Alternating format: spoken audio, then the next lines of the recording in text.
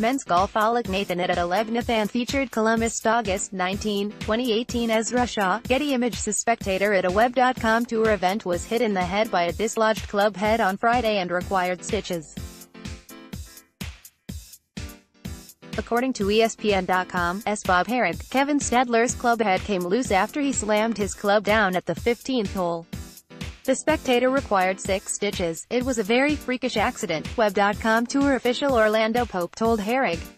Kevin is devastated. He had trouble trying to finish the round.